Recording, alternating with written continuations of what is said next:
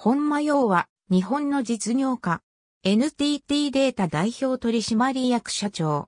山形県酒田市出身。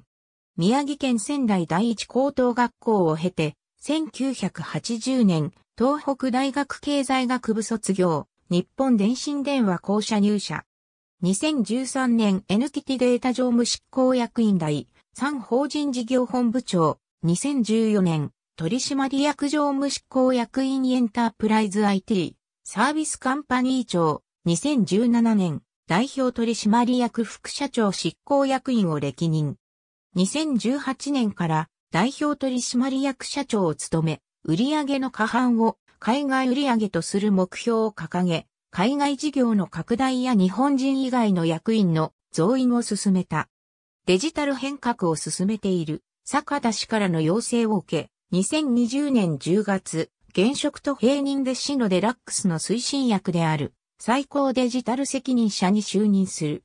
これに合わせて市は企画部情報企画課内にデジタル変革戦略室を新設。また区度に就任する本間の下に補佐官を置き、市役所に NTT データが人員を派遣し、常駐させる。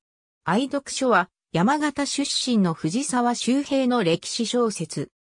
2020年に岩本敏夫 NTT データ相談役が谷脇康彦総務審議官や金杉健治外務審議官に対し NTT グループ関連会社のレストランで総額約19万3000円の接待をしたと2021年3月3日に週刊文春に報じられたことを受け、関係者に多大な迷惑と心配をかけたとして謝罪した。